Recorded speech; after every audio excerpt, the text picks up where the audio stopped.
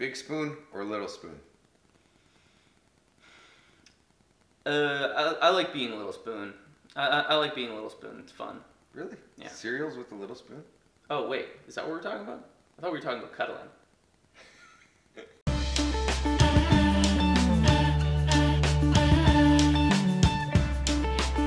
Hello, friends. Welcome to Mr. Cole Howard. Hello, hello, internet. Hey, Brent. Welcome to my home. Thanks. Welcome Great to be my here. channel. Thanks. It's great to be here. Yeah. Yeah. we got a lot of questions from them for you. Great. So you want to dive in right away? Is that the first question? I want to make sure that they have your social media. I'm always on Twitter. Uh, uh, it's at ColeMF Howard. I'm on Instagram. I think it's cmfh.esq, pretending to be a lawyer. I will put it in the description below. What does the MF stand for? It depends on who's asking. But uh, actually, I got it from this guy, Metal Face. Uh, MF Doom here. Yeah. How did you get into voice acting? You seen Mrs. Doubtfire? Yeah, of course. Yeah. There's a clip right at the beginning where Robin Williams' character is dubbing over that Yeah. smoking bird. Yeah, yeah. I remember seeing that as a kid and being like, oh, I want to be a cartoon. That looks like a lot of fun. Uh, and then I did a bit of theater, met a couple people, just really applied myself to pursuing voiceover specifically. So you actually have to apply yourself in this job? Uh, I'm out. Ninjago Yeah. twice. Okay. Um, so you know the ninja enough now. mhm. If you could be one of the ninja, who would you want to play? I mean, Cole. I mean, you know, I, I think that's a pretty easy answer. In the Seabound finale, Hmm. you have this really big emotional scene, Mhm. right, where you're losing it. What was it like recording that scene? Do you remember? I just, it's what I love to do. I love acting. I love playing make believe and playing pretend. You know, so even if it's a, even if it's an emotional scene or a, or a scary scene or whatever, there's an element of that, that fun make believe that I try to inject into everything.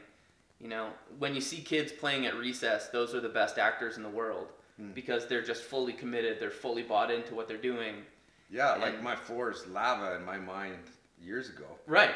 Yeah. And actually, that's that'd be pretty fun to get around this room. Actually, I'm looking at the obstacles, right? Yeah. Parkour. Parkour. Ever get damage on your vocal cords, and how do you prevent that? Yeah, I was doing. Uh, I was playing Shinpachi in Gintama, which is an insane show.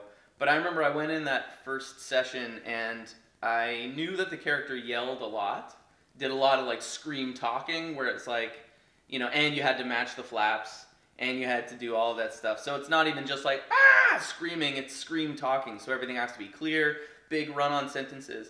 And I remember we got about halfway through and I, I was feeling it. I was like, I'm fried. We had to record the rest of it at a later date. I couldn't finish the session.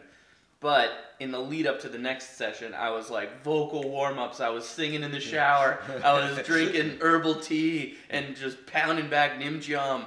And then I, I got in and I got through it. Sing, drink Yeah. tea, and pound back some Nin Jiom, Pretty much. which is Yeah.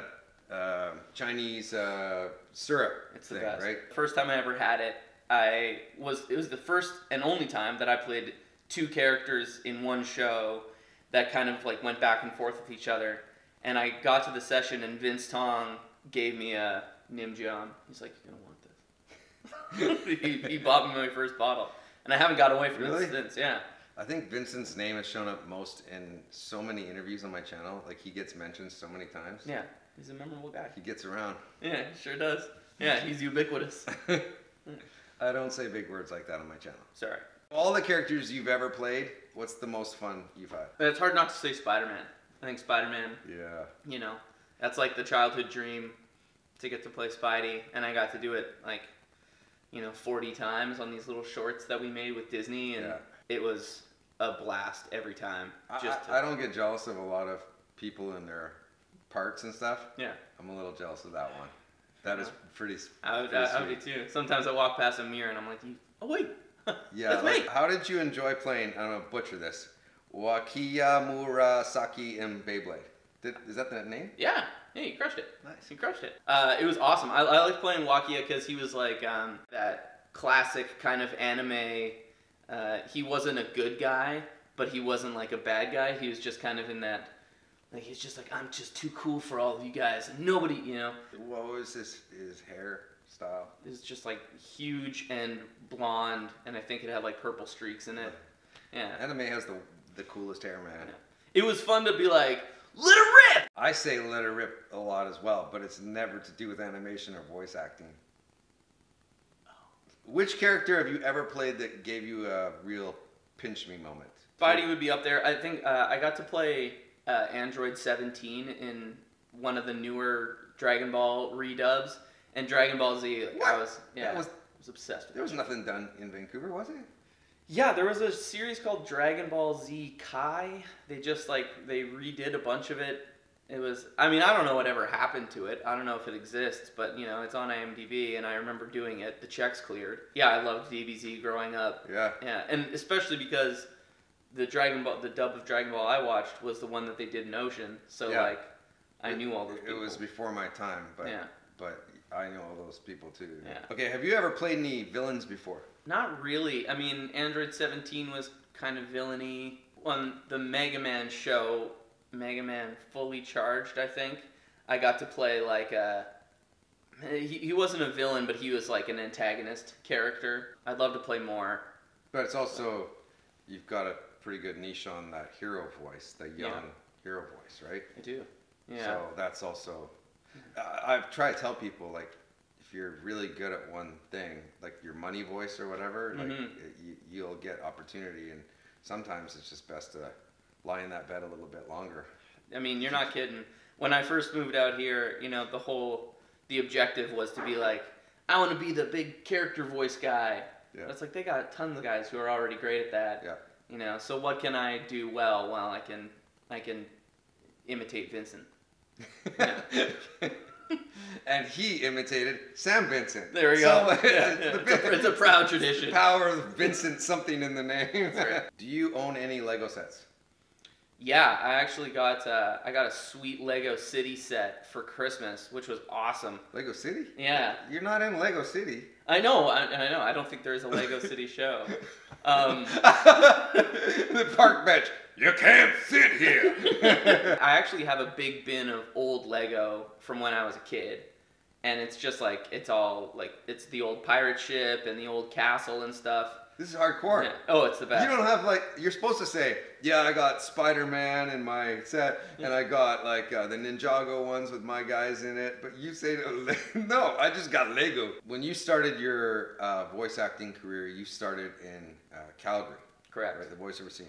Yeah. What led you eventually to come to Vancouver? Yeah, it was an easy choice because my my dad lived out in BC at the time, and I was, you know, I graduated high school. I'd done a bunch of stuff in Calgary, but I was just kind of like, I was just languishing, you know, just in my mom's basement. My mom kept dropping me subtle hints. She'd come downstairs and be like, "Have you considered working for CN Railway? They're hiring." uh, so I was like, I think I need to get out of here. So moved to Vancouver. I was fortunate enough to meet my agent, and then I basically didn't work for like two and a half years. Uh, Oh, that's a great story, Cole.